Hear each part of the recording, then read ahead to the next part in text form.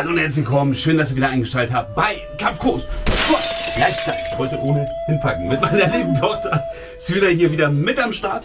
Und heute ein sehr spannendes Thema. Und zwar ist es der traditionelle, nicht nur Schlag, sondern der traditionelle Rückzieher. Und zwar, warum wird es an die Hüfte gezogen? Kommt es wirklich aus Asien oder haben das vorher vielleicht schon ganz viele andere gemacht? Dieses Thema wollen wir heute mal ein bisschen aufgreifen und ihr werdet überrascht sein, was ihr gleich alles sehen werdet.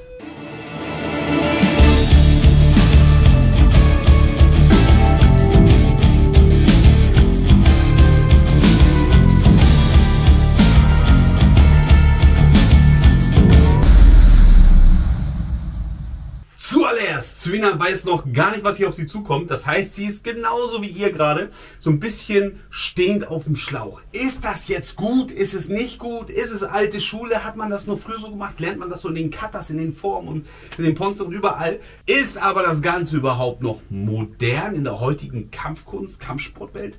Was glaubst du? Was würdest du sagen? Ich glaube heutzutage nicht mehr. Mhm. Ich glaube früher in der Tradition ja, Mhm. aber auch so in der Verteidigung glaube ich nicht, dass es wirklich sinnvoll ist, weil alles hier frei ist. Genau, Deckung, ja, ne? Nichts ist frei, Mhm. äh, alles ist frei. Mhm. Ja. Sehr schöner Ansatz. Ich wette, das glauben die meisten nämlich auch. Und die meisten denken bestimmt auch, ich glaube auch du, dass das so ein typisches asiatisches Ding ist. Die Faust zu zurückziehen. Aus Japan, aus ja China. Ja, genau. ja. Ja, das waren so diese Sachen. Aber ich sag euch jetzt mal, dass es zum Beispiel auch aus Griechenland ist. Dass das Ganze auch aus dem alten Boxen sogar kommt.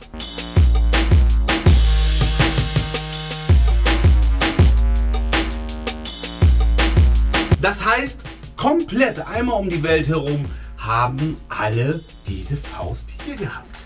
Äh, die nächste Frage ist es natürlich, ist das Ganze in der heutigen Modern überhaupt noch zu finden oder nicht? Ich sage euch, oder ich sage dir besser gesagt, die Leute machen es immer noch.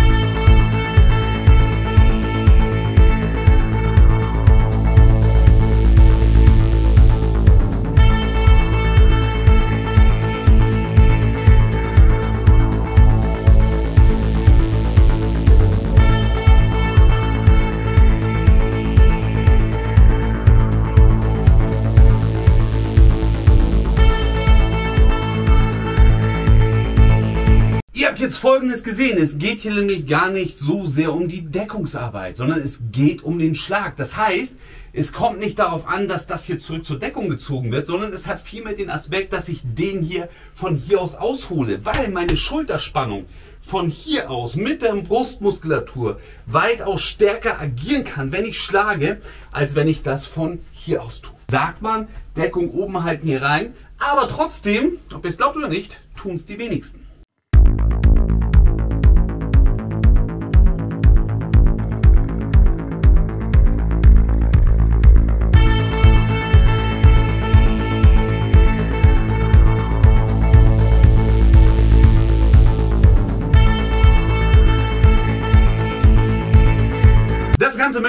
Hier einmal ganz gerne mit Serena ausprobieren. Und zwar, ich möchte, dass du einmal einen Schlag führst von oben der Deckung aus und wieder zurückkehrend zur Schläfe. Und los geht's. Ja, das war nicht so wirklich. Von oben, von der Deckung aus. Und, und genau, nochmal. Gut, und nochmal. Ja, richtig reingehen, nach vorne. Gut, gut. Und jetzt möchte ich mal, dass du das von da aus ausführst. Von da aus zu schlagen. Ja, und los geht's. Ja, was hast du für ein Gefühl? Fühlt sich nach mehr Kraft an. Fühlt sich nach mehr Kraft an. Und genau das ist auch das Geheimnis des Ganzen. Denn wie eben schon gesagt, ja, die Spannung, die herausgeführt wird, und man sieht es auch immer wieder, es hat nichts damit zu tun, dass ich sage, eine Deckung, wenn sie jetzt schlagen sollte, ist hier natürlich perfekt. Ja? Es geht dabei nicht zu sagen, ich halte hier meine Deckung, ja, also hier oder hier, und versuche dann hier irgendwie alles abzuwehren. Das ist natürlich nicht so gemeint, sondern vielmehr geht es weniger um die Deckung und vielmehr um den eigenen Schlag. Dass wenn ich den Schlag von hier setze, wenn ich hier bin, hier viel mehr Power reinkriege, als wenn ich den Schlag jetzt von hier aus hau.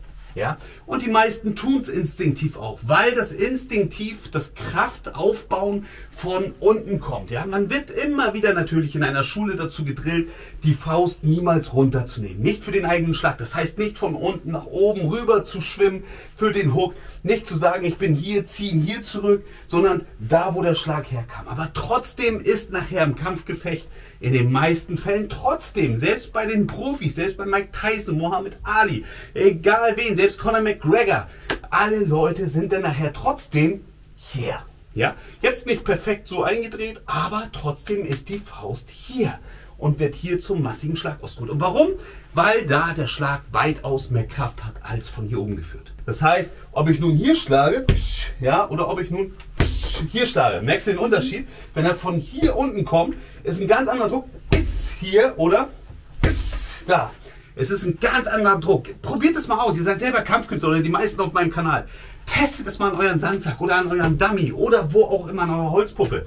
Oder wie gesagt am Partner mit dem Pratzen. Es ist unglaublich. Es ist ein Phänomen, was man selber vielleicht, wenn man das nicht recherchiert hat, gar nicht wusste. Geht nicht darum zu sagen, dass das hier falsch oder das hier falsch ist. Geht einfach nur darum, mal zu zeigen, dass es trotzdem eigentlich nur so ausgeführt wird. Und wahrscheinlich im Laufe der Tradition die Ur, Ur, Ur, Urgroßmeister das schon wussten und deswegen in den Formen höchstwahrscheinlich den Schlag hier so vorbereitet haben. Wollte ich hier einfach mal ganz gerne zeigen, weil ich das selber nämlich auch irgendwann mal gesehen habe und mega interessant fand. Und ich denke, einige von euch finden das genauso interessant. Svina, ich danke dir und wir sehen uns wieder, wenn es wieder heißt Kampfkunst Lifestyle. Ich glaub mir, ich kenn das, wenn man nix weiter sagt, weil das Leben einen zu Boden zieht, wie Mix Martial Arts. Wir sind Menschen, die rasseln, kämpfen wie Russell, eine Real-Life-Story mehr und wir brennen wie eine Fackel für die Leute, die so hart leben.